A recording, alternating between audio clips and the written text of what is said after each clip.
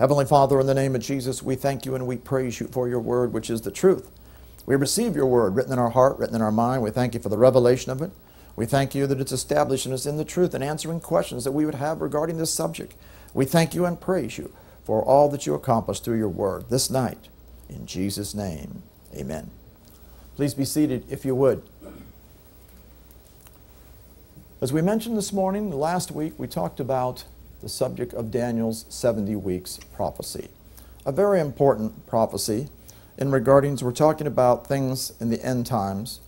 We see in Daniel chapter 9 that we might just bring out that chapter, verse 24, 25, 26, we're all talking about the Messiah and the things that Jesus did when he came in order to bring forth what God's purpose was and to bring forth the redemption. We see that when Messiah the Prince came, there were three score and two and seven weeks, which is a total of 69 weeks. 69 weeks until Messiah the Prince. And Prince means ruler. Messiah means the anointed one. When was Jesus anointed as the ruler? At his baptism.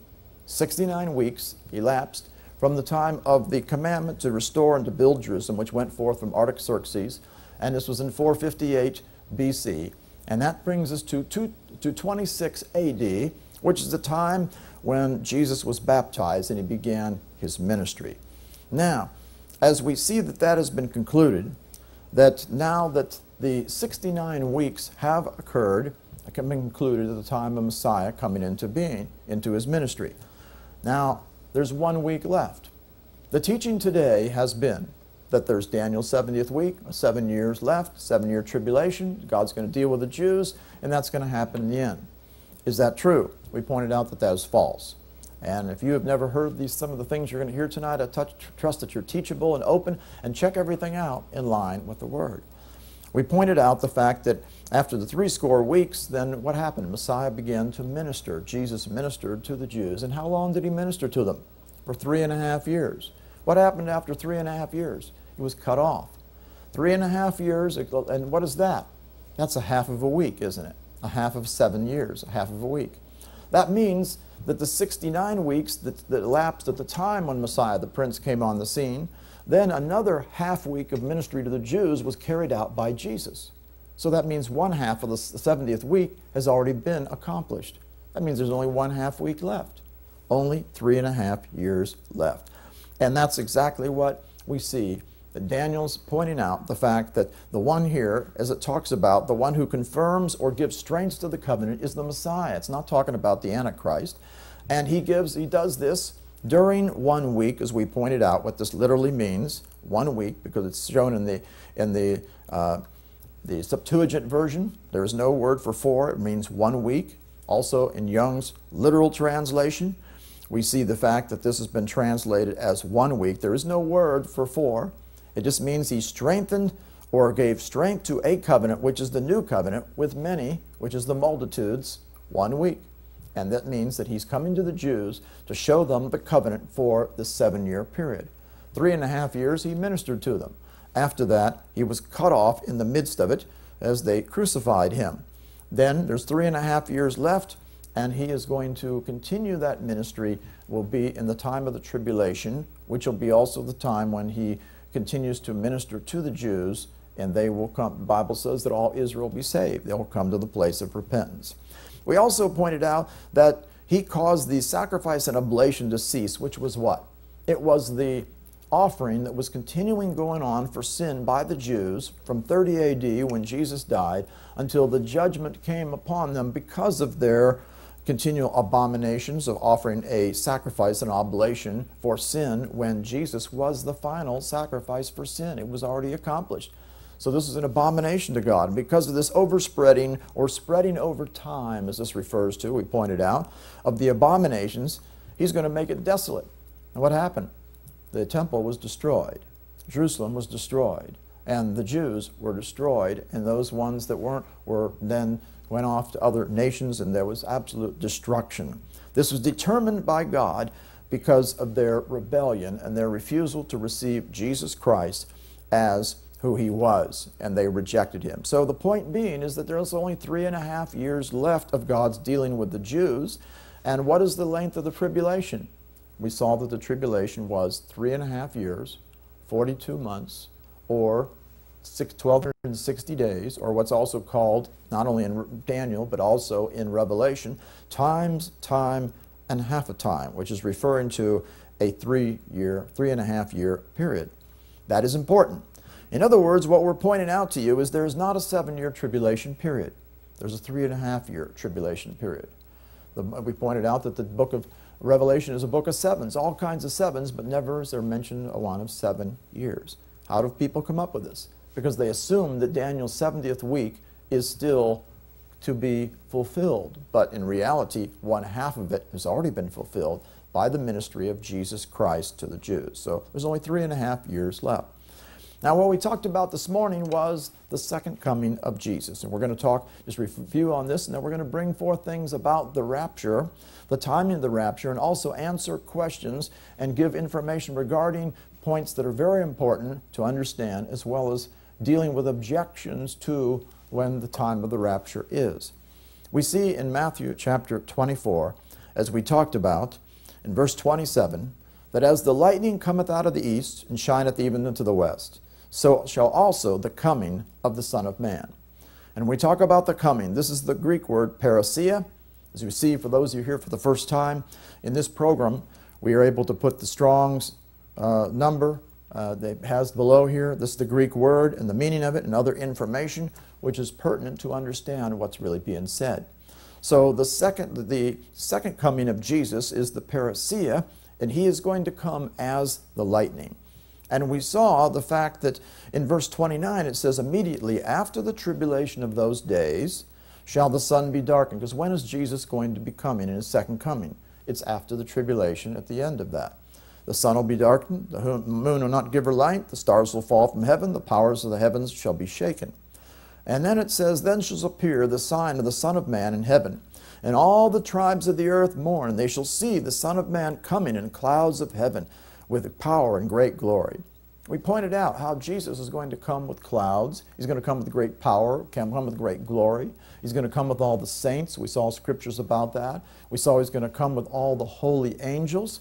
And he's going to come in flaming fire to bring judgment on those who have, of course, rejected him and on the world who has not received him. And at the same time, he's also coming to receive the church to be caught up to meet him in the air, which is very important. And we talked about how he comes in all these different ways. We talked about who he comes for. He comes for those who are the righteous ones, who are walking in line with his word, who are born again, who are hearers and doers of the word, who are not walking in unrighteousness or lawlessness, but those who are walking in the ways of the Lord. We talked about the sign, sign of the time of his coming. And it's important that we understand that this time of when he is coming is referred to in Scripture as the last days. And these last days are certainly a time that we need to understand that they are here and they've already come upon us. And the last days is something actually that began with Jesus coming when he first came, because the last days really refers to the New Testament era. In Hebrews chapter 1, it even says, God who at sundry times and divers manners spake in time past unto the fathers prophets, hath in these last days spoken unto us by his Son. Well, when did that begin? It began at the time of the New Testament. So the last days, as a general uh, term, is talking about from the time of Jesus on, how he's spoken unto us by his Son, whom he's appointed heir of all things, by whom also he made the world. We see also, this is referred to over in Acts chapter 2. We talk about the last days in verse 17. It'll come to pass in the last days, saith the Lord, I'll pour out my spirit upon all flesh. When was this spoken? This is spoken in Acts chapter 2, when the time when the day of Pentecost occurred and the Holy Spirit was poured out. Upon all flesh, your sons and daughters will prophesy, young men will see visions, old men will see dreams. So the last days actually began at the time of when the church age began we see that there's many things about the last days it speaks about, and certainly we are in these last days, and we need to know that because the second coming of, especially in the latter part of the last days, but it, it does refer to the entire New Testament era. In Isaiah chapter 2, verse 2, it shall come to the pass in the last days that the mountain of the Lord's house shall be established in the top of the mountains, shall be exalted above the hills, and all nations shall flow into it. Many people shall go and say, Come ye and let us go to the mountain of the Lord, to the house of the God of Jacob. He will teach us his ways, because what happens in the last days? We are taught the ways of the Lord.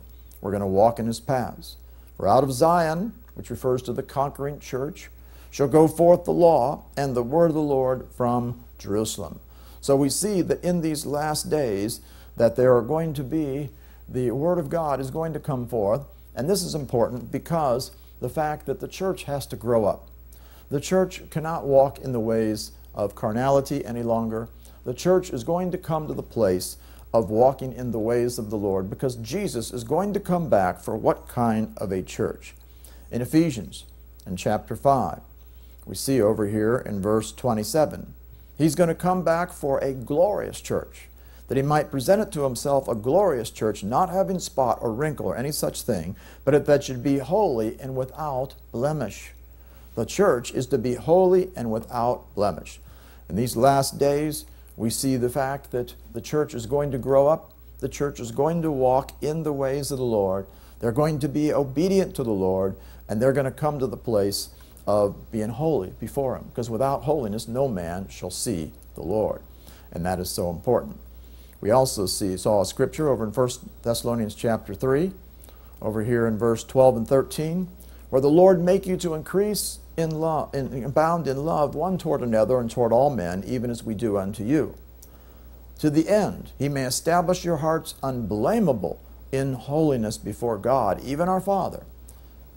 At or in, this really means in, it's a Greek word en, which means in, in the coming of our Lord Jesus Christ with all his saints. Otherwise, when he's coming, you're gonna, he's gonna, you're gonna, heart's gonna be established unblameable in holiness in his coming. You're going to be that way if you're going to be able to be ready for the Lord. We talked about many things that were so important for you to be ready for the Lord, to walk in holiness, to walk righteousness, to walk uprightly before Him, to be ready and be prepared. Many scriptures that we looked at. At the same time, we know that there's going to be those who are going to be scoffers. 2 Peter chapter 3, over here in verse 3 knowing this first, that there shall come in the last days, in this last days period, scoffers, walking after their own lusts. We can't be one of those who are going to walk after the lusts. Says, saying, Where's the promise of his coming? Where's this promise of this parousia? They kept on thinking the fact that he's not going to come. Well, this is again the work of the enemy working in people's lives who are walking after the lusts instead of walking after the way of the word. We pointed out that if the church does not walk, the body of Christ does not walk in line with the Word of God, then they are going to be candidates for the fall away. In Matthew chapter 24, verse 12, we saw the scripture, because iniquity shall abound, the love of many shall wax cold. What's iniquity mean? Iniquity is a Greek word, anomia, Nomos is the root word which means law. A is a prefix meaning not. So what it means is without law or referring to lawlessness, as Young's brings out, because the abounding of the lawlessness. Because lawlessness shall abound, the love of many. And this is talking about the church. That's agape love, which comes to the body of Christ at the time of the new birth. Of many shall wax cold. Well, if they love is wax cold, they're in trouble. They're going to be in the fall away crowd. We know the fact that those ones in Revelation chapter 3, as it says here in verse uh, Laodicean church, he says, the ones who, verse 15, he says, I wish that you were cold or hot, but these guys were lukewarm. Because you're lukewarm and not cold or hot, I will spew thee out of my mouth. The lukewarm gets spewed out. It's only the ones that are hot, that are walking in his ways, that are going to be with the Lord. And certainly someone who's cold is going to be in trouble. Now, we talked about the time when he comes, that we do not know the day or the hour. We saw several scriptures about that. What is that referring to? That doesn't mean we're not going to know the time. How, how can we say that? Because over in Thessalonians, 1 Thessalonians chapter 5, we saw the scripture of the times and the seasons, brethren, And the time is the word chronos, the general word for time. But season is talking about a fixed time, a fixed definite time, a me certain measure of time, something that is going to happen in a fixed definite time. Brethren, I, you have no need that I write unto you. Why? Because you yourselves know, or this particular word is actually in a perfect tense verb. The perfect tense in the Greek refers to past tense past tense, a past act that's been completed, completed action in the past, with present effects at the time of the speaking. So what it says that they had known at that time from the past, you have known, as Young's brings it out, perfectly. The word perfectly means exactly and accurately that the day of the Lord so cometh as a thief in the night. The day of the Lord is the second coming of Jesus Christ where he is going to come. He's going to come like lightning. He's going to come suddenly. He's going to come like a thief, just suddenly. At the same time, they knew accurately and exactly that he was going to come that way. And we see also, he said, You're not to be in darkness, that the day should overtake you as a thief, the day of the Lord. We're children of light, and we're supposed to watch and be sober.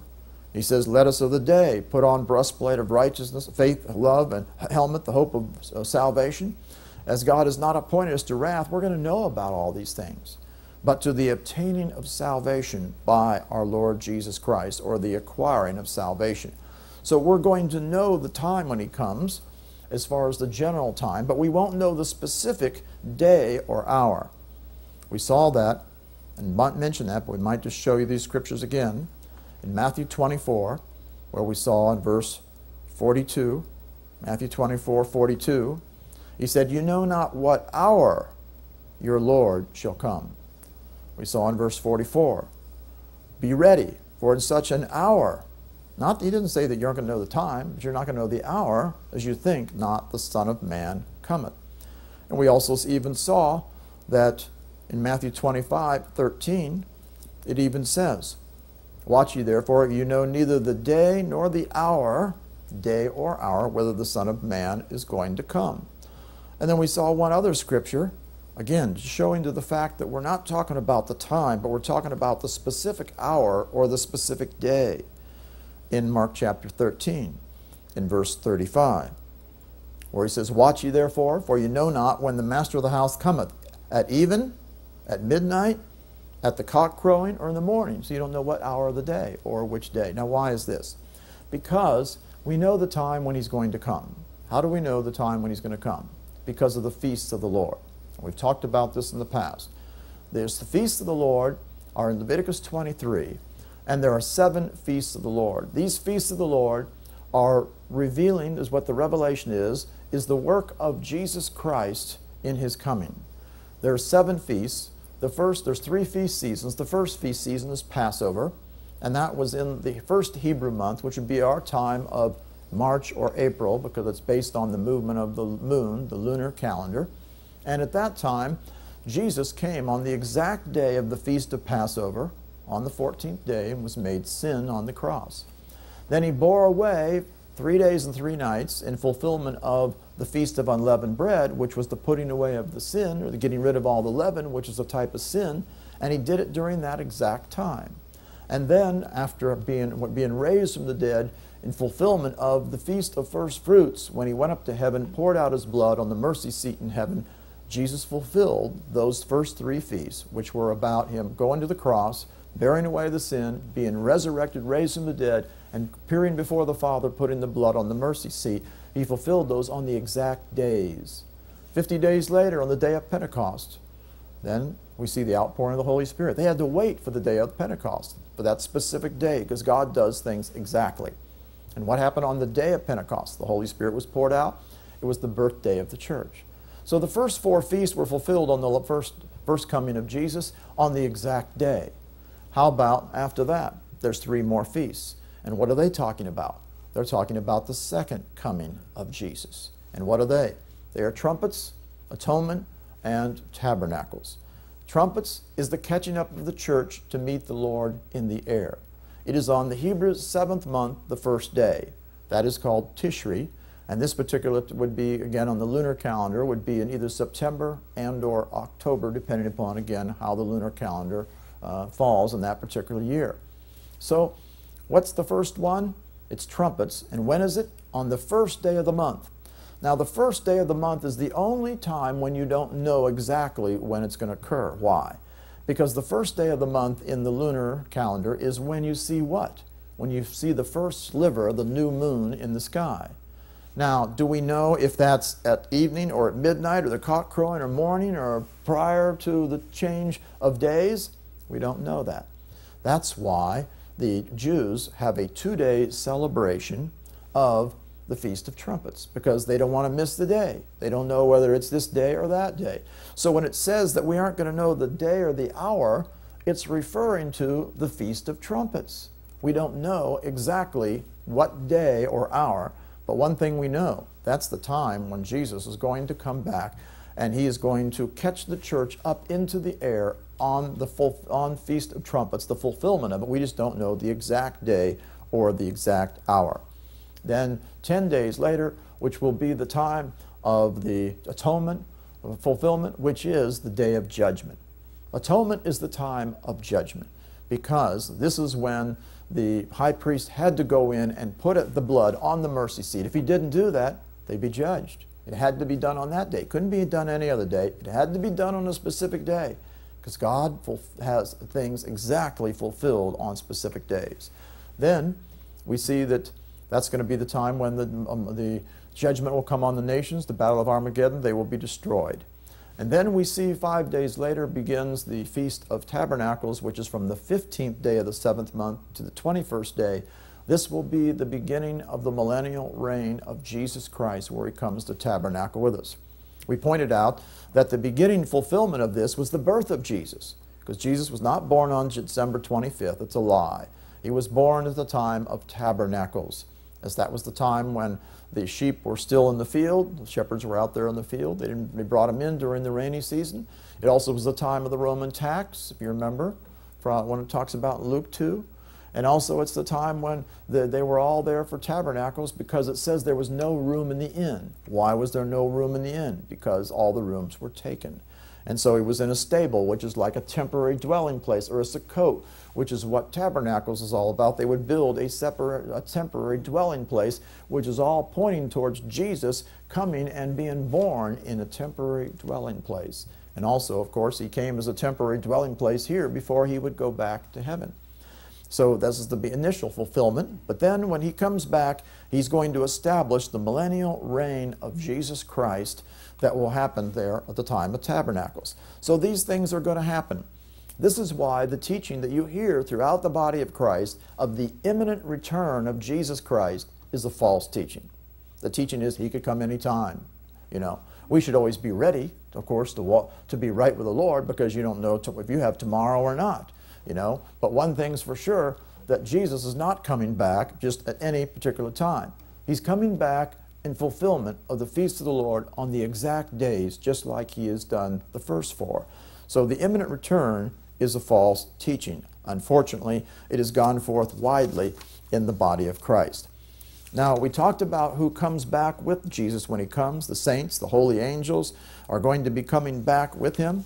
And we were talking about the, the rapture of the church. And this is something we want to address tonight again and also answer some important things because many people have not understood this. The prevailing teaching, the, the main teaching that you see in the body of Christ today is that, of course, they believe in the seven year tribulation. They think prior to that, there's going to be a pre tribulation rapture where all the Christians are going to be caught up to meet the Lord in the air, and they're going to be gone, and then there's going to be a seven year tribulation period. Is this the truth? Well, you're going to find out that this is not so. First of all, if we look at the point of when the catching up of the church is, we need to look at a couple scriptures. First of all, let's go to Second Thessalonians in chapter 2. In Second Thessalonians chapter 2, it talks about the coming of our Lord Jesus Christ. It says this in verse 1. Now we beseech you, brethren, by the coming, and this is the word parousia, which means the second coming of Jesus, referring to. It's of the 16 of the 22 times, uh, 24 times is used, it's referring to the second coming of Jesus. In the coming of our Lord Jesus Christ, and it says in the King James, by our gathering together unto him. And we'll comment on that in a moment. That, that you be not soon shaken in mind or be troubled neither by spirit, nor by word, nor by letter is from us that the day of Christ is at hand, or that it's arrived. It hadn't. He says, Let no man deceive you. Now, what are we talking about? The day of Christ when he comes back. And also, what else do we see about this? It's not only the second coming of the Lord, but it's also our gathering together unto him. What is the gathering together unto him? That's the catching up of the church to meet the Lord in the air, what's commonly referred to as the rapture, or the catching up of the church to meet the Lord. So, notice that the coming and the gathering are all at the same time. He goes on and says, Let no man deceive you by any means, for that day, this day of the Lord, shall not come except there come a falling away first. What is going to happen first? There's going to be a falling away first, unfortunately, in the body of Christ. And the man of sin is going to be revealed who is who? The Antichrist, the son of perdition. Why would the Bible say, Let no man deceive you by any means? Why would it take the time to warn us about being, not being deceived? Because God, knowing, of course, in his foreknowledge of the, what, how, what would happen, people were teaching things contrary to the truth. So he's warning us don't be deceived about this, thinking that this is going to happen as men have taught. But instead, he says, this day, the day of the second coming of Jesus and the catching up of the church to meet the Lord in the air, is not going to come except there's first a falling away. Unfortunately, as I mentioned, there will be a falling away of the church. There's only going to be a remnant who are going to be saved. They're going to walk in his ways. And the man of sin be revealed, which is the Antichrist. What does that tell you? That means the pre tribulation rapture is not, uh, before he's revealed, is not going to happen. That's the false teaching that comes forth. Now let's go back to verse 1. Notice what it says By the coming of our Lord Jesus Christ, that's the second coming. That's the first thing it mentions. And by our gathering together unto him. I want you to notice the word by. We pointed this out this morning, but it's important to point it out again. The word by is italicized. Notice how it's italicized. Whenever you see something italicized in the King James Version, what does that mean? That means there's no Greek word in support of it. There's no Greek word translated by there. Instead, it's been added by the translators. Now, why have they, why did they add that? Because they thought that they were doing something good by throwing that in there. But you don't want to add anything. You want to translate things exactly word for word. It literally says, as Young's brings out here, by the coming of our Lord Jesus Christ and our gathering together unto him. In other words, they're not two different things. There's not by the coming of the Lord and by our gathering unto him. There's only one thing by the coming of our Lord Jesus Christ and our gathering together unto him, it's all one event. And the coming comes first, that's when Jesus comes. The catching up or the gathering together unto him comes second, which is what happens um, at the time when Jesus comes and catches the church up to meet the Lord in the air. Now, in discussing this matter and going over this about the uh, teaching about the rapture, we need to look at some important scriptures. And we're sharing this with you for you to have knowledge, as well as so if it happens in our lifetime, we won't be deceived.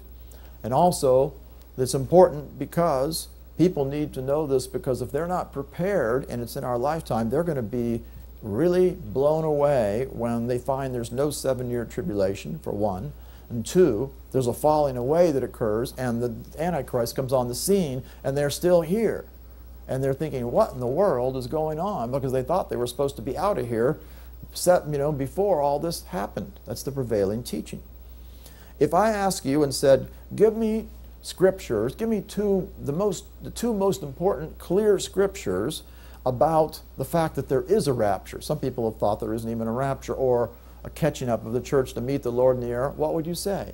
You certainly would say 1 Thessalonians chapter 4 and 1 Corinthians chapter 15.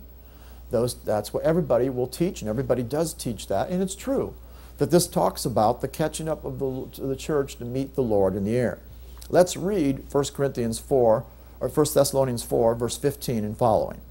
For this we say unto you by the word of the Lord, that we which are alive and remain, the word remain means to be remaining over, left over, or to survive. That's because we have come through the tribulation period, as you will see. Unto the coming of the Lord, we've survived unto his coming, shall not prevent. The word prevent is a word here which means to precede. It literally means to precede. Why they translate it that way, I don't know. Young's brings it out correctly to precede shall not precede them which are asleep. Who is it talking about? The ones that are asleep, the ones that have died, that dead in Christ, that have already died. And what this is talking about, the ones that are going to have a new body, get a glorified body, and, and meeting the Lord in the air with this new glorified body, are going to be, first of all, the ones who already have died are going to get their bodies. And then the ones that are alive and remain will get theirs afterwards, which will be the church that's alive at the second coming of Jesus. Look what it says For the Lord himself shall descend from heaven with a shout, with the voice of the archangel, with the trump of God, and the dead in Christ shall rise first. That means first in time. So who's the dead in Christ? All the believers who have are, died in the past that are in heaven their bodies are going to, they're going to get brand new glorified bodies first. That's going to happen first. Then it says, Then we which are alive and remain shall be caught up together with them in the clouds to meet the Lord in the air. We're going to be caught up to meet him. And to meet the Lord in the air, so shall we ever be with the Lord. Now, what does this tell you? This tells you that the time of the catching up of the church to meet the Lord in the air is at the same time as the dead in Christ rise, get, get their bodies. Same time. What is the dead in Christ rising and getting their body? What is that? That's the resurrection, isn't it? That's the first resurrection where we get our body.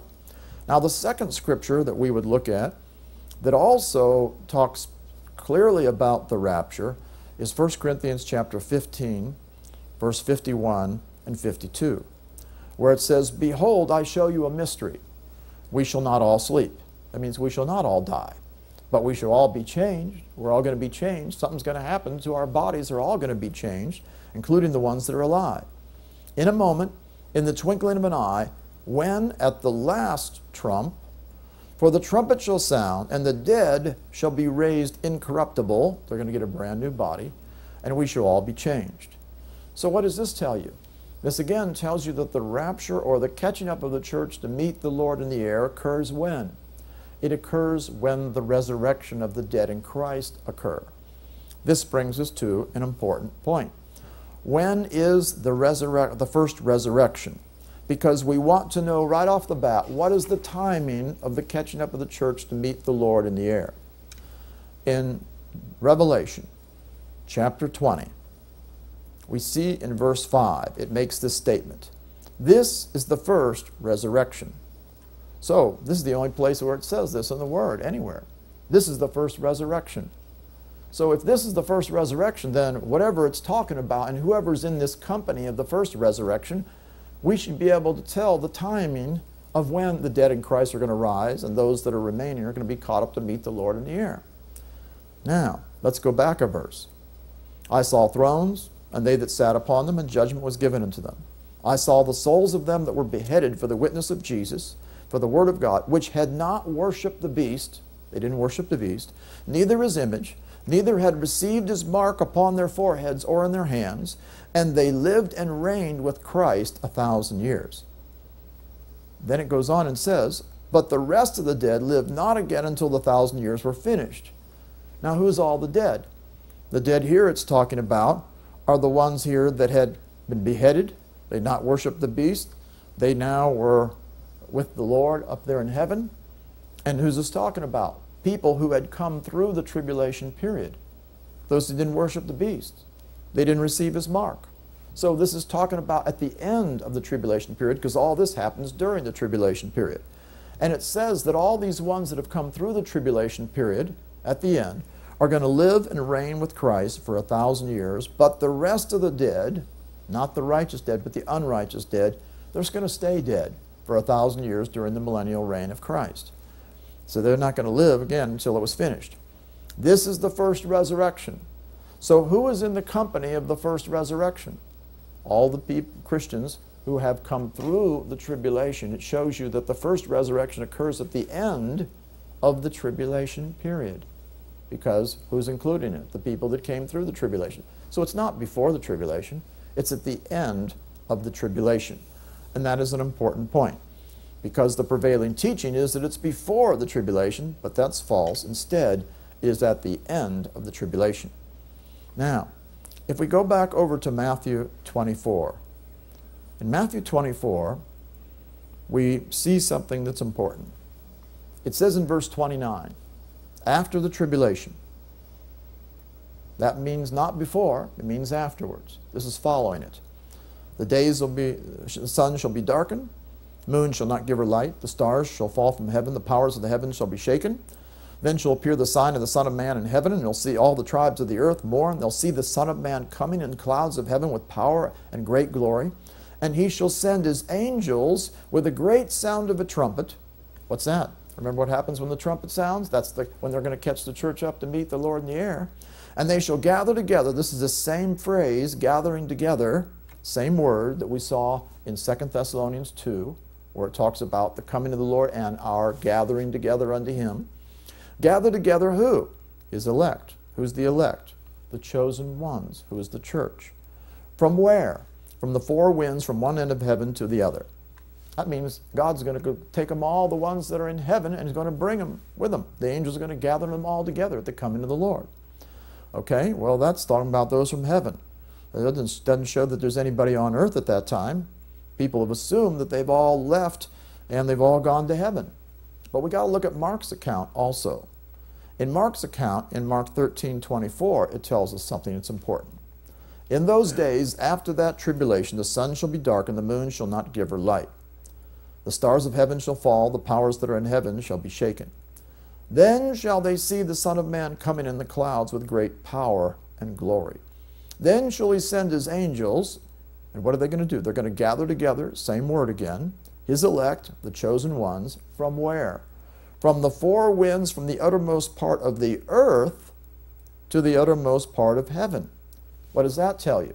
That tells you that the elect, the ones who are going to be gathered together unto Him, the rapture, the catching up of the, of the believers unto the Lord, is going to come from where? They're going to come from heaven, and they're also going to come from earth. That tells you that there are believers on earth at that time. Those are the ones who are alive and remain that are to be caught up unto the Lord. The point being that all this happens after the tribulation. So, when is the catching up of the church to meet the Lord in the air that's going to come from all those in heaven as well as all those remain? It's after the tribulation, it's not prior to the tribulation.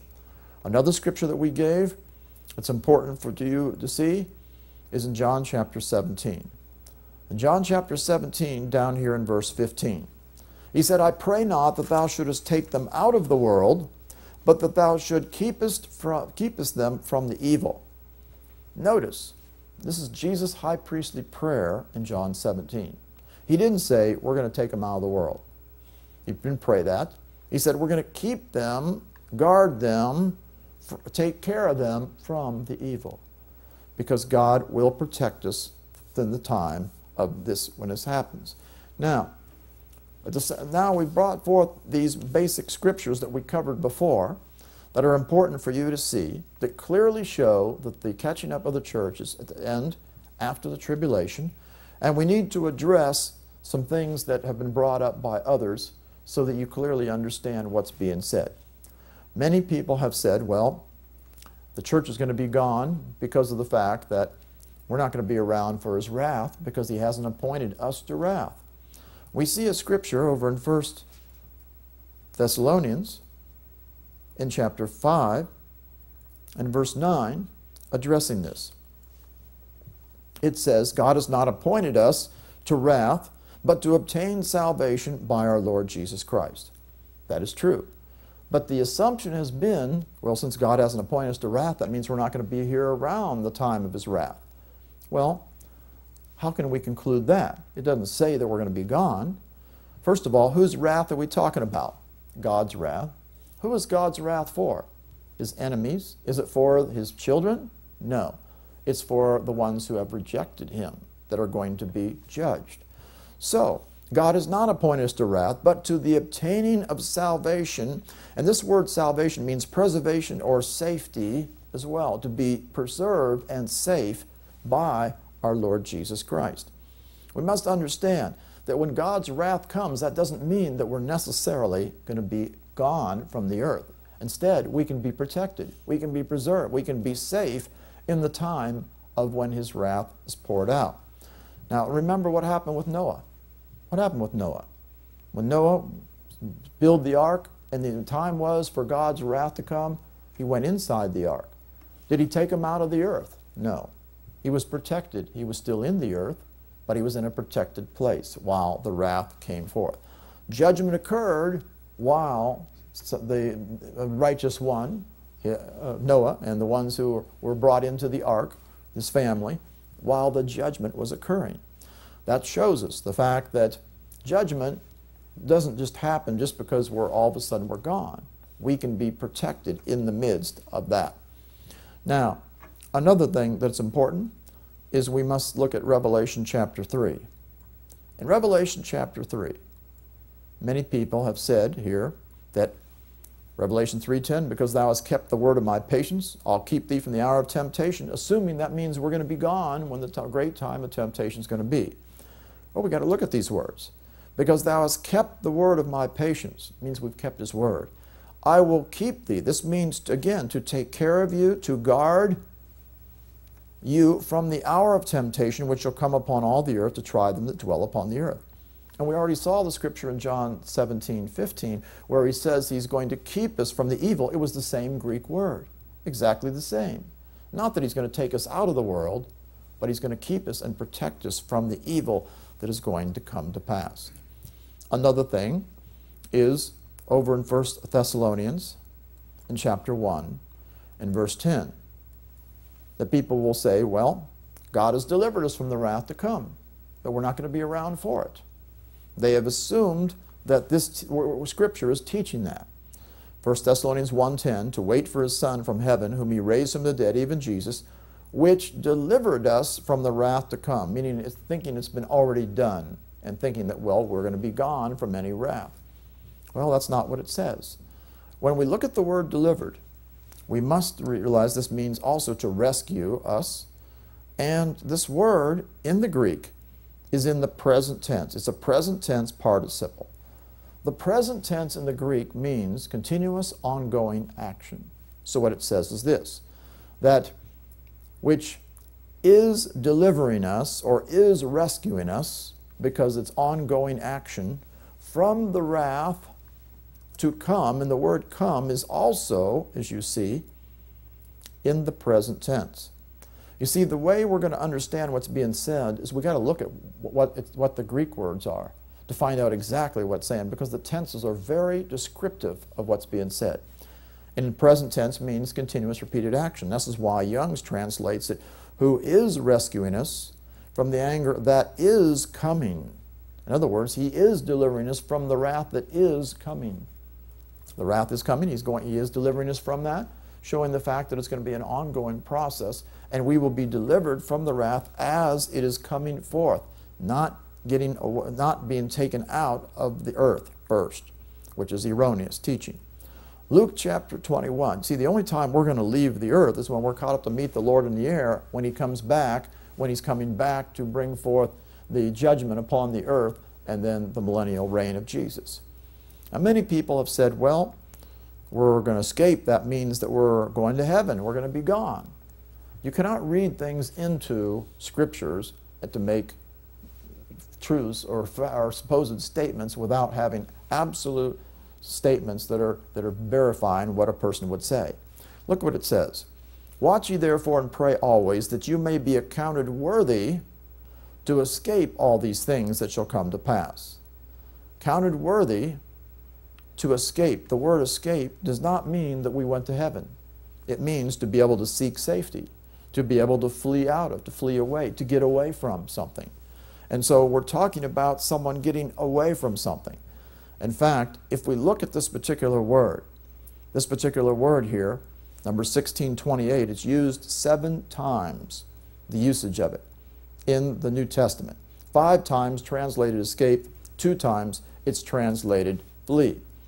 Some examples of these, because we want to see, well, did anybody uh, leave the earth and, and go to heaven when it talks about this particular word, or what is it talking about? Acts 16 27.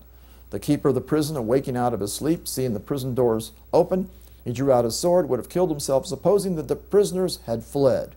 What does this is the word? What's it mean fled? They just left where they were. Not that they went up to heaven or whatever, they just left and they were fled away from the place here where when the prison door was open. We see another place where this word is used in Acts 19, verse 16, where it says, The man in whom the evil spirit was leaped on them, overcame them, prevailed against them, so that they fled out of the house. Same word, ekphuzo, which means, again, to seek safety, to flee out of. Otherwise, they just simply left the house. They got into a, place out of the house, uh, and not that they left the, the world at all. We see another thing over in Romans in chapter 2, where it uses this word as well. Verse 3 Thinkest thou, a man that judges which do such things and does the same, that you are going to escape the judgment of God?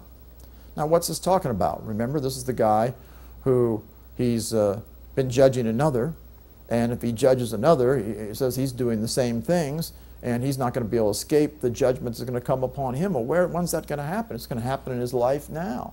Because if you judge, it's going to be judgment's going to come upon you.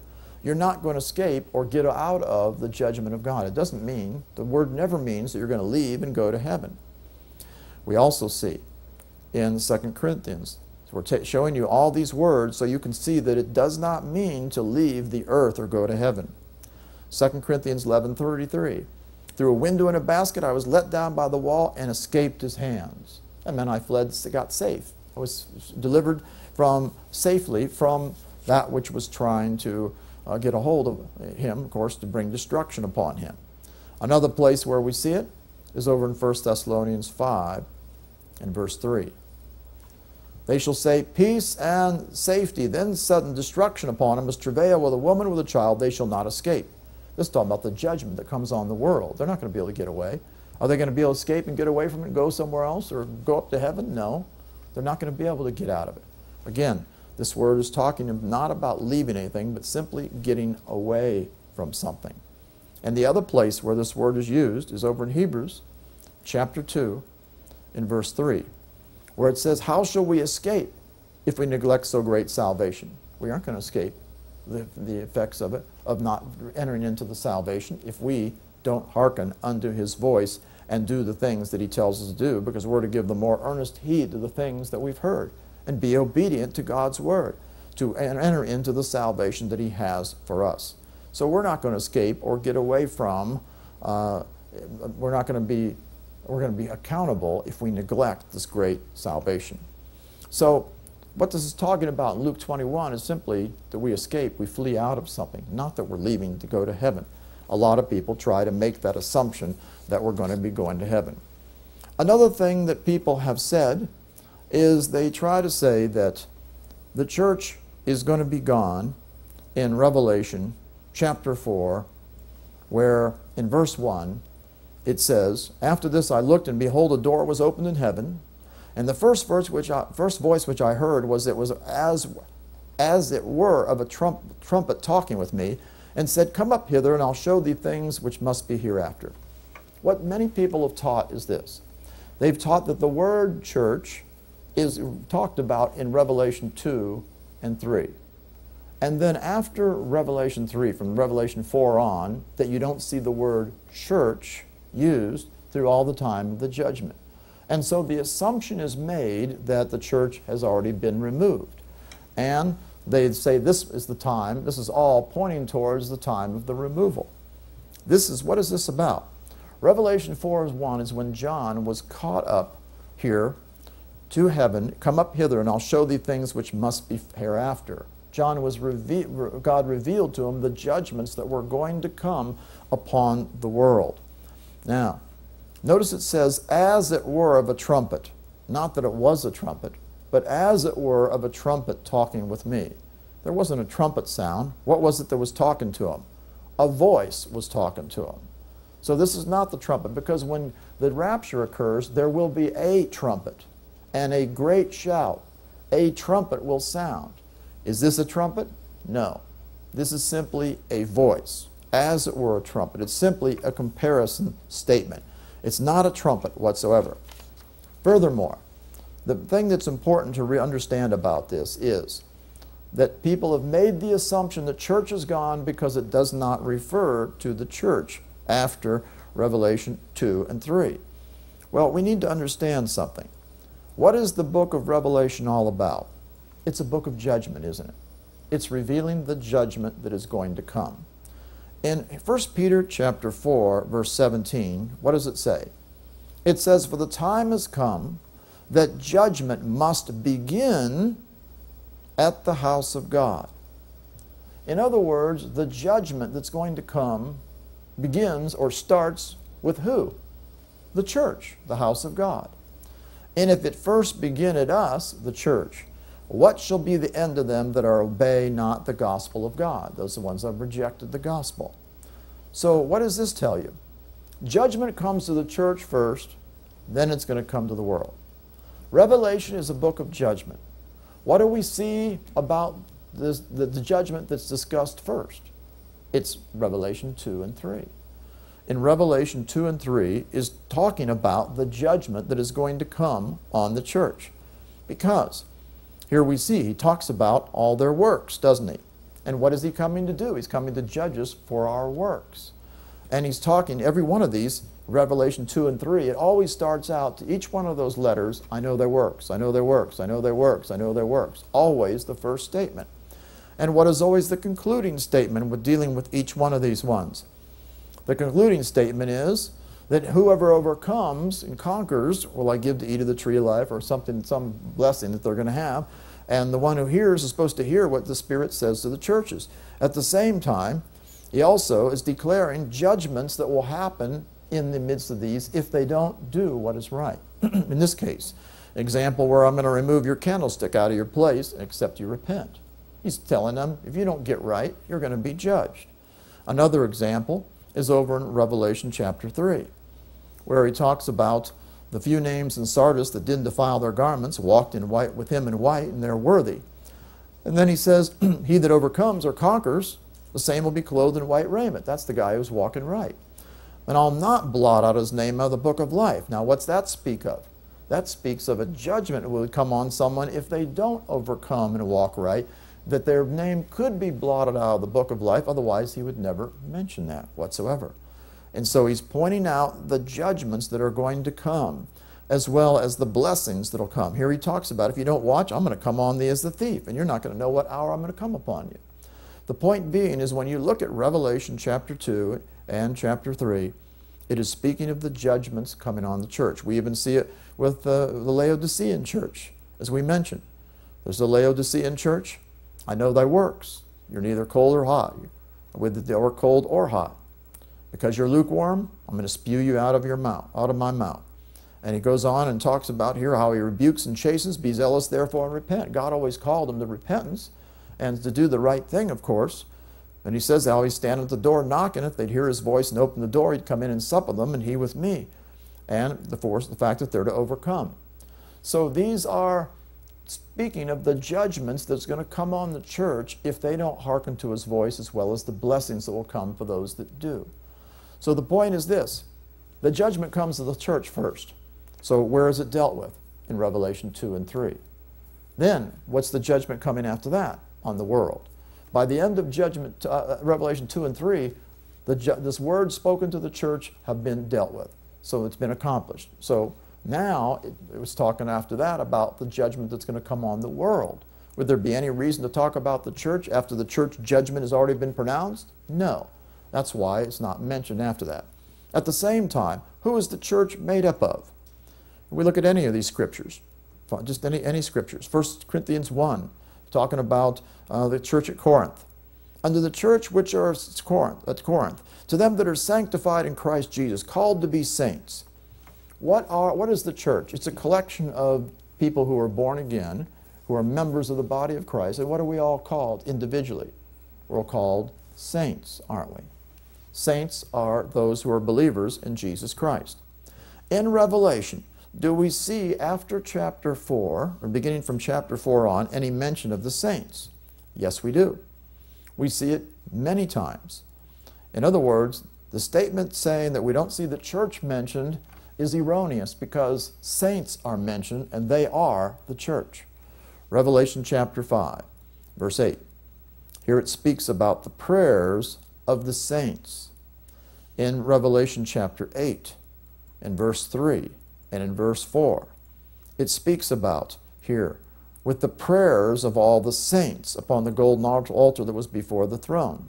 The smoke of the incense, which came of the prayers of the saints, ascended up before God out of the angel's hand. We see also in Revelation chapter 12.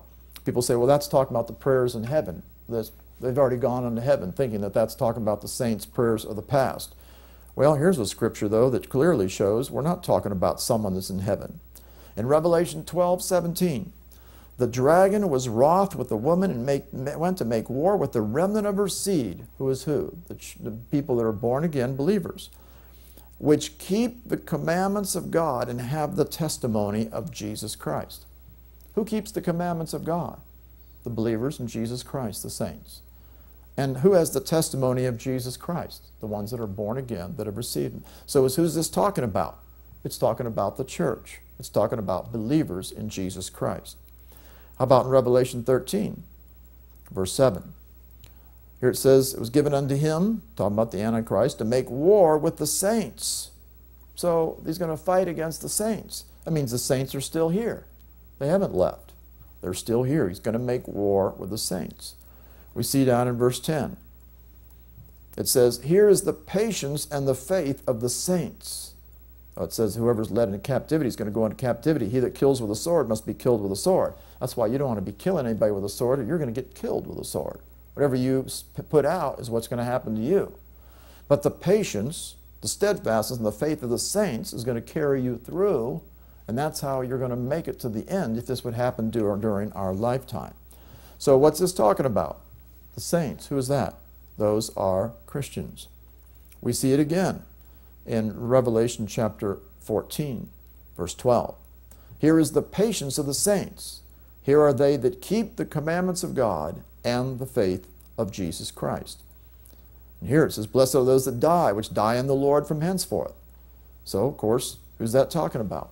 Believers who would die during this particular time. We see over in Revelation 16 we see this word saints is used time and time again. They've shed the blood of saints and prophets.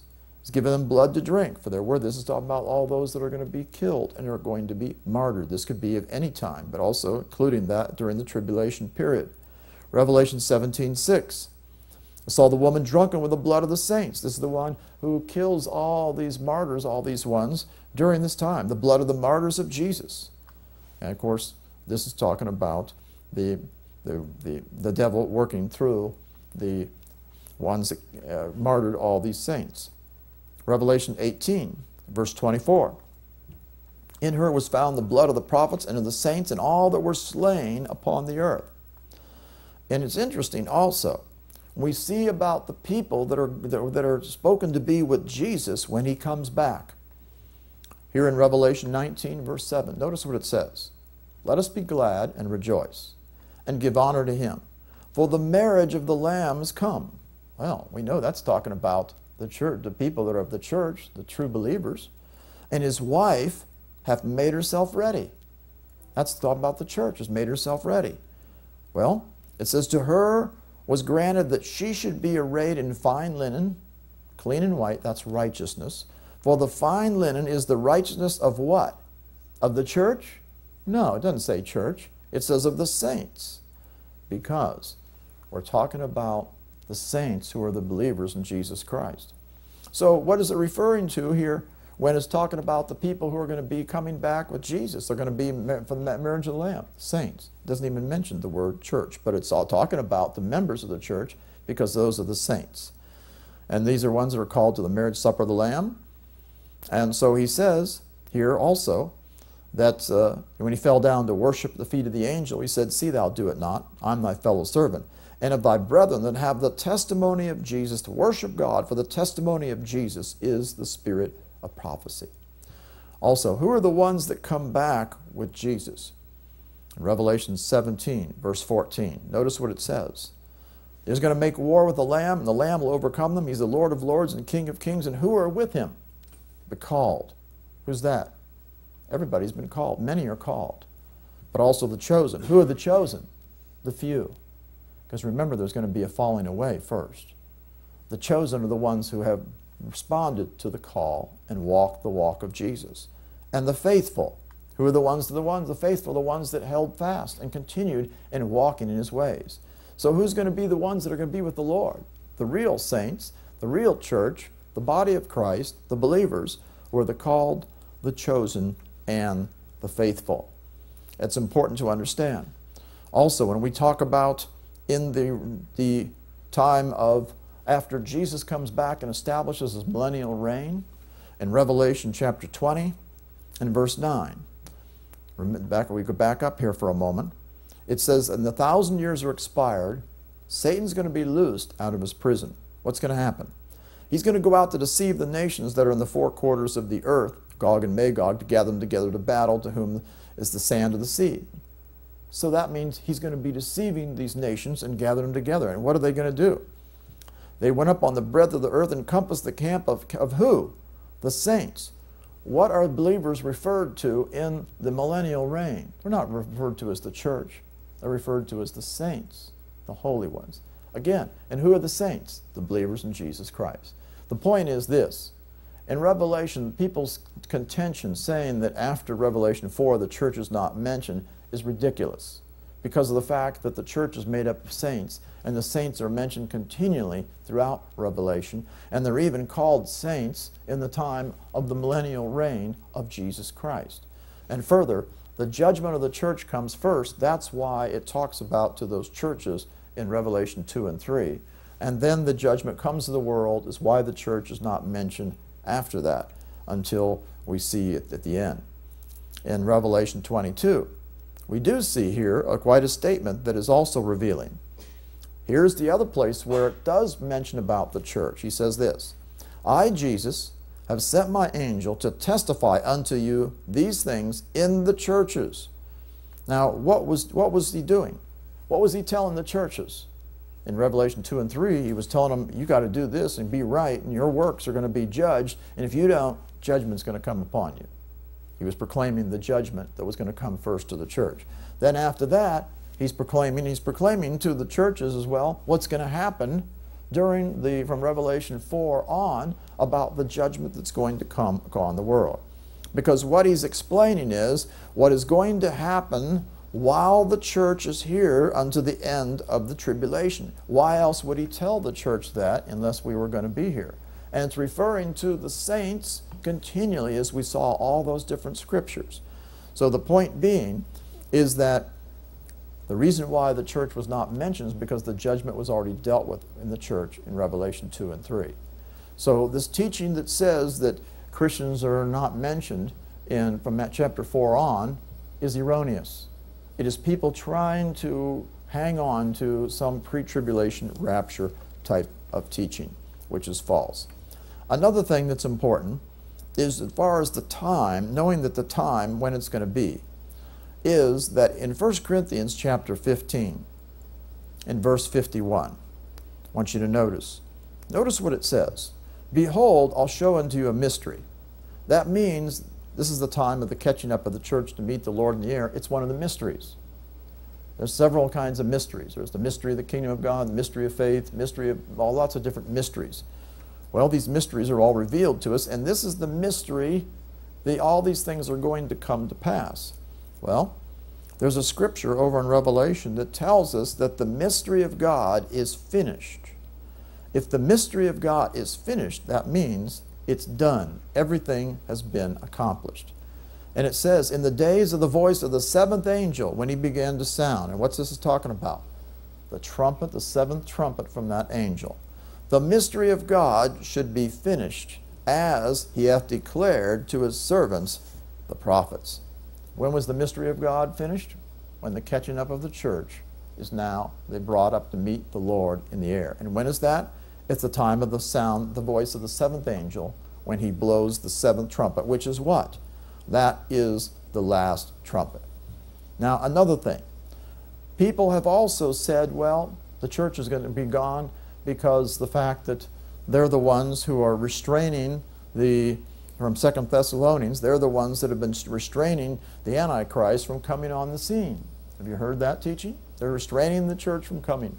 The Holy Spirit, you know, and he's going to be taken out when the church leaves. So first of all, is the Holy Spirit been taken out? No. He's here during that time. People are going to get saved during the tribulation time, and they're going to be with the saints that are here, and they're going to be delivering the saints. The Holy Spirit is not leaving whatsoever. He's going to be here during that whole time. well, they say, well, it has to be the church then. The church has the one has to is the one who's holding back this antichrist. Now, when the church is taken out of the way, then the antichrist will be able to come on the scene, assuming that he's going to be taken away at the time of beginning of the tribulation period. Is that so? No, it's erroneous again. First of all, let's look at this in Second Thessalonians, where it talks about the coming of our Lord Jesus Christ and our gathering together or catching up to meet him with him. It says the day of Christ, don't, don't be shaken that this has happened. Don't let any man deceive you. The day's not going to come before the falling away first. There will be a falling away in the body of Christ. The man of sin is revealed, which is what? The Antichrist is going to come, the son of perdition. And he's the one who opposes and exalts himself against the things of God. Then we come down to verse 6, and he says, And now you know what withholdeth, or is, this means is, is holding back or restraining, is what this word means, that he might re be revealed in his time. Who's it talking about to be revealed? The Antichrist, the man of sin. Notice, by the way, in his time. The word time means a fixed, definite time. What is determined the fixed, definite times of things? God has through his word and his knowledge. He's the one. So, what is withholding him from being revealed? God's timing, God's word. But there's even another thing. It goes on and says, For the mystery of iniquity does already work. Only he, now we're talking about a person, who now lets, this means to restrain or hold back, will let, until he be taken out of the way. Now, the teaching has been until the church gets taken out of the way. Well, the he. Is the church called a he? No. We'll come back to this in a moment. First of all, what is the church called? We already saw what the church is called in Revelation 19, verse 7. Wife has made herself ready. What is the church referred to? Feminine. Referred to as what she called the bride. Jesus is called the bridegroom. The church is not referred to in the masculine, it is referred to in the feminine. Therefore, when it's talking about the He, it is not talking about the Holy Spirit, because the Holy Spirit's not leaving, and it's not talking about the church, because the church is a she. So, who is it talking about when it says, till he be taken out of the way? We know it's according to God's time when the, uh, the Antichrist will be revealed, which would be according to his word, and God's in control of it. But who carries out God's word? Who's the one that carries out all of his things that go on? The angels do. And who is the one who holds things back? Angels do. The he that he's that he be taken out of the way would be the angel that's holding back the Antichrist from being able to manifest. Example of some scriptures to even show how angels hold things back. They do all of his work in the earth, they carry it out. Revelation 7 1. After these things, I saw four angels standing on the four corners of the earth, holding the four winds of the earth. They're holding the four, they're holding this back, the four winds of the earth, that the wind should not blow on the earth. Who does the holding back of the winds? The angels do. We see it's the angels that carry out God's work in the earth. They are his servants that minister uh, and carry things out for him. Revelation 9 14 saying to the sixth angel which had the trumpet, Loose the four angels which are bound in the great river Euphrates. Otherwise, they were bound, and now they're going to loose or untie the four angels. Who's going to do that? The angels are going to do it. The angels kept them bound, and now the angels are going to untie them. The point being is, who is doing the restraining? It's the angel of God. To carrying out according to God's word and according to his timing when the Antichrist will be revealed.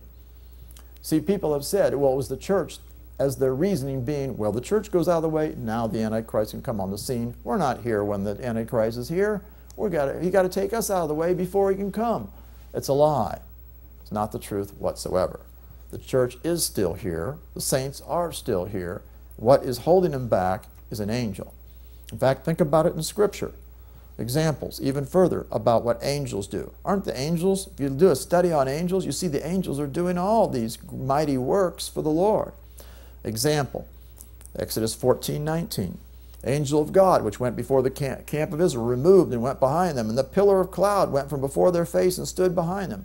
The angel was holding up this pillar of cloud, where it was darkness to the Egyptians, and yet there was light tor towards the, the Israelites. It was the angel that was doing these things. Who is the one that shut the, the, the mouth of the lion?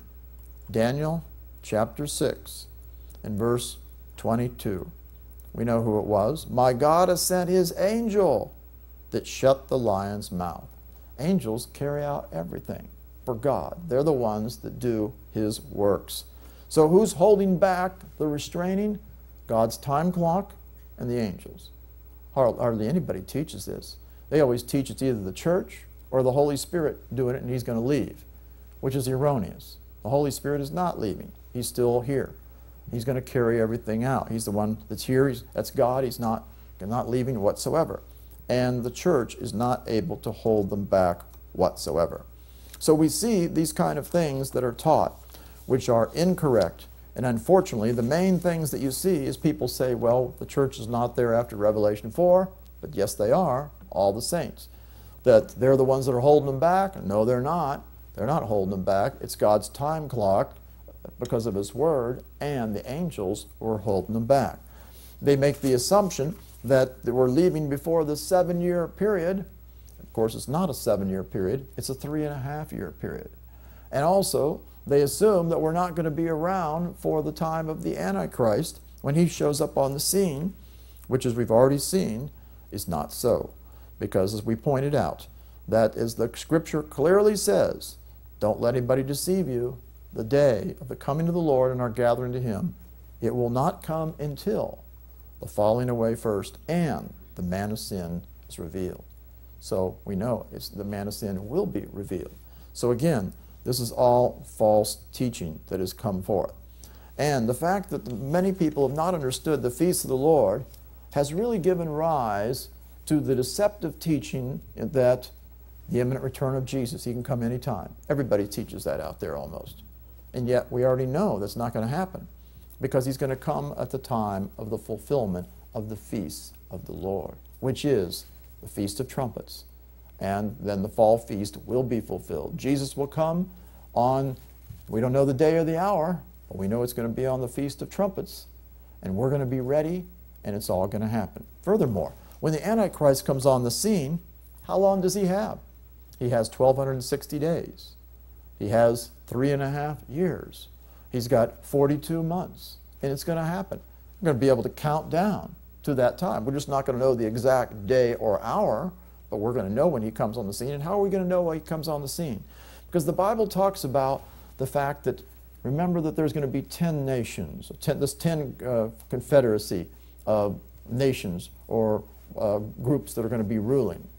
And talks about that the Antichrist is going to rise up among them he's going to overcome these two. And then of the remaining seven, it says the seven are going to give their power, which means authority, to the beast. And so what's going to happen? They're all, he's going to transfer his authority. Now, what does that mean? And you must understand, you think, well, maybe this will be a long time off. Now, you got to understand the vehicle for this is already in place. The reason we know this is because the EU, which is the European Union, which is the establishment of all these nations that are now in the members of, the, of this group, that what they have is they have a revolving presidency. And each one of them has the presidency of the EU for six month period. One particular nation rules for six month period, then the period, then the next one passes the, to the next nation for six month period to the next nation. So it's already set in place. This has already been established when the EU came into being, which was in January of 1993. This thing came into being way back when they established it. It didn't get, you know, it's been going little by little evolving, but that's when they set everything back in place. So we see now that this being in place, what does that mean? If you take seven of these nations that are left times six, what is that? 42. 42 months. These are going to give their authority into the hand of the beast when he comes into operation, and everybody's going to be able to see it clearly. I'm talking about people that are Christians that have revelation. The world out there that doesn't understand it, they're going to fall for this, and the people that are walking in lukewarmness, they're going to are going to fall away. They're going to end up being deceived, and unfortunately, they'll probably end up taking the mark, and they're going to be in trouble. But those who are understanding the fact that 42 months from the time that he is given authority for 42 months, the clock is ticking. He's got 42 months, and you better believe it's going to happen the three and a half years before the time of the judgment. Now, you say, when could that be? Well, first of all, when's the judgment? The judgment is on the Day of Atonement, because that's the tenth day of the seventh Hebrew month, which is the time of judgment. That's the time when the nations are going to be judged. That'll be the fulfillment of that. The Battle of Armageddon, they're going to be destroyed. So if he has 42 months, you go back 42 months from that time what's going to happen? We go back three full years, now we have six more months. If we go from the seventh Hebrew month, the tenth day, back six months, where does that bring us to? The first Hebrew month, the tenth day, right? From the seventh Hebrew month, tenth day, you go back six months, you come back to the first Hebrew month, tenth day. What happened on the first month and the tenth day? That's the day, if you remember, when they had to bring in the lamb to present him in Revelation or Exodus chapter 12. We see here in verse, uh, um, it was back in verse uh, 3. Speak unto all the congregation of Israel, saying, In the tenth day of this month, the first day of the first month, you shall take to them every man a lamb according to the house of their fathers, a lamb for a house. This is when the lamb was presented on the 10th day of the first month. Well, what did Jesus do? Jesus presented himself on the 10th day of the first month as the Lamb of God that was going to take away the sin of the world. He was examined for those four days before he was crucified on the 14th day. So, what is Satan going to be? This, this uh, man of sin, the Antichrist. He's a counterfeit. And he's going to declare that he is God. And he's going to show up and begin his rule at this time on the 10th day of the first month. And he's going to proclaim that he is the real fulfillment of what this thing is all about. But he's a liar and he's a deceiver. Satan has always been one to deceive, and the Antichrist will try to deceive the world. He's going to declare that he's God. And of course, unfortunately, people are going to not believe in Jesus, and then God is going to, because they have rejected Jesus, they'll believe a lie. God's going to bring a strong delusion upon them, as it says in Second Thessalonians. They're going to believe a lie, and they're going to end up following after him and believing that he is God. Amazingly. But that's what's going to happen. You think, how could that happen? Look at the deception out there of all the way things are in the world already it's going to get a whole lot worse. You better believe that this is going to happen. The falling away happens. People are not going to be, they're going to be in the candidate to be in the camp with the Antichrist and this, this false leader who is going to come. So he's going to show up, he's going to take over, he's going to say, I'm the true God. And of course, at the same time, you've got to realize there's going to be lying signs and wonders that are going to come forth. In fact, we've got to be sure that we don't follow after anything. You know, many people today in the Christian world, what do you see they do? They seem to flock to people that have signs and wonders and gifts, don't they? And they just run after them. Anytime anybody's had any, uh, you know, uh, signs or wonders or whatever, they just seem to flock right after them. Well, that's a mistake. The Bible talks about how the false prophets are going to arise. And we see the fact that they're going to arise we come down to verse uh, uh, 21 how the great tribulation is going to come. It says it's not going to be, it's, it's worse since the beginning of the world to this time, no, it shall ever be. And it says, except those days will be shortened, no flesh will be safe, but for the elect's sake, the days will be shortened. That's for the, that's for the church. And uh, talks about there'll be rising false Christs and false prophets shall show great signs and wonders. I mean, these signs and wonders are going to be great, marvelous, miraculous signs and wonders. Satan can do those kind of things, insomuch that if it were possible, they shall deceive the very elect. That's why it's critical that if this happens in our lifetime, you never follow after signs or wonders. If you follow after signs or wonders, you are going to be in trouble. You always follow after Jesus and the Word of God. But this is how they're going to be trapped. People are going to follow after the great signs. That's how so many are going to be led astray because they're going to see the signs and wonders and think this person must be something that's of God. That's the same thing that happened in the Lakeland revival that happened a few years back. If you're aware of the fact that someone was doing these signs and wonders, but they weren't of the Lord, they, they line wonders. A lot of people's so-called healings did not uh, continue. They left and they had all kinds of problems.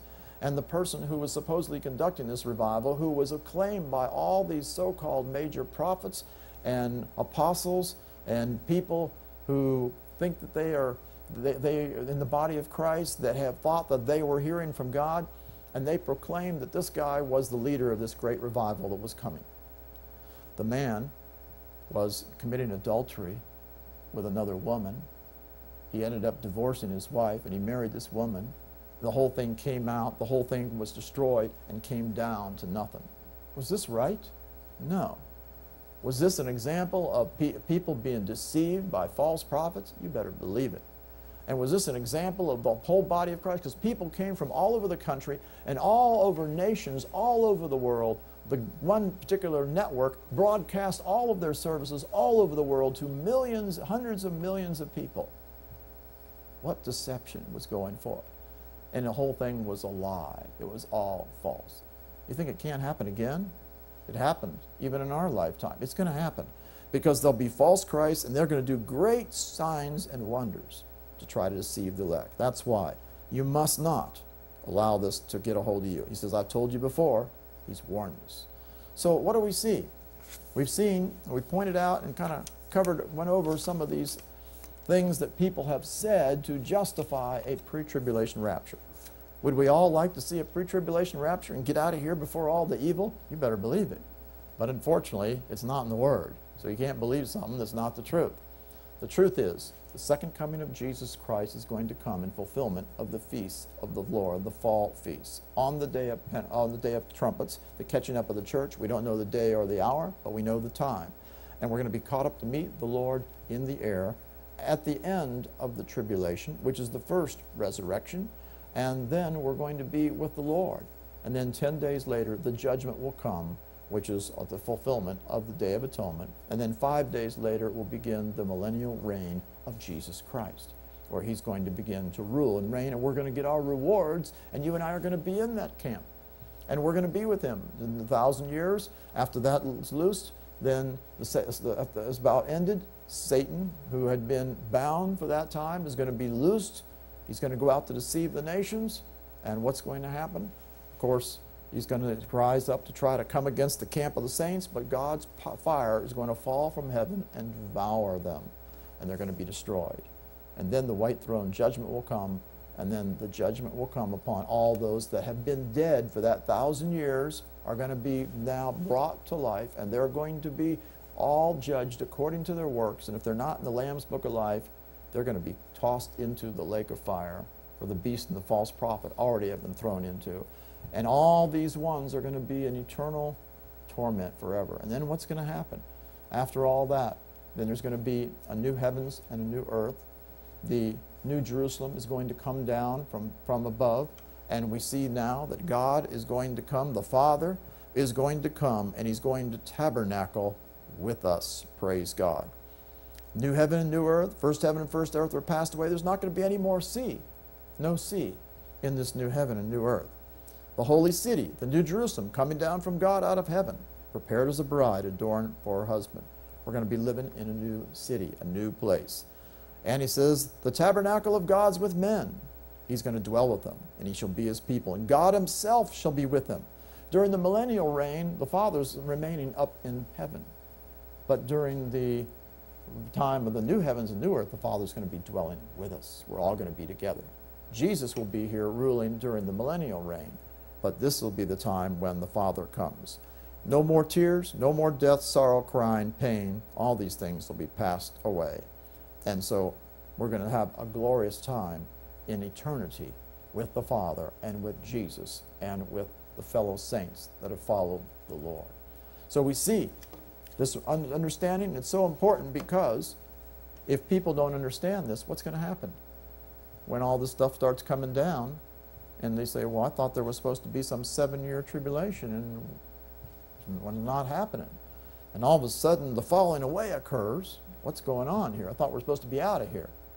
And then we see the Antichrist comes on the scene, and that's really going to blow the people away because they thought they were supposed to be long gone out of here. In fact, they're not. Instead, now we got the 1260 days, 42 months, time times half a time, the clock is beginning to run. And then it's going to be persecution like the world has never seen because all these demons are down here. They've been this war in heaven where Michael and his angels fought against the devil and they were cast out of the heavens and they're no more there in heaven. Now they're cast down to earth, as the Bible says, and they're, they're going to have great wrath knowing they have a short time. 1260 days, boys, until you're going to be done. And then that's when Satan, of course, is, they're going to be defeated, and Satan's going to be cast into that pit for a thousand years, and he's not going to be able to do anything during that time. So the battle, the war is going to be on during that time. But if we're not, if people are not prepared for that, it's, they're not going to be ready. And of course, those ones are going to be in trouble. And there'll be a lot of people will be martyred instead of being victorious. And uh, it's not wrong to be martyred as long as you don't deny the Lord. At the same time, the best thing would be to be protected, be kept safe, make it through to the end if it happens in our lifetime. And certainly, we're certainly fast approaching this time because we know the end times are here. The vehicle even is set for this 10 nation confederacy. And the whole, we see what's happening in the world. Isn't it amazing how the world in the last, let's say, 20 years has gotten so much worse? 20 years ago, homosexual was not accepted. 20 years ago, you didn't see all this, the things that you see going on today.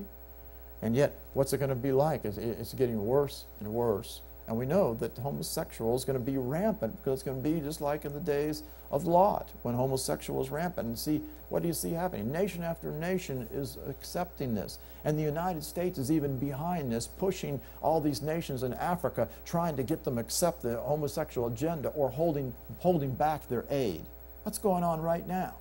That's why we got to continually pray for God to turn this nation around. Otherwise, it's going to be in trouble. But praise God, we're going to serve the Lord. We're going to walk His way.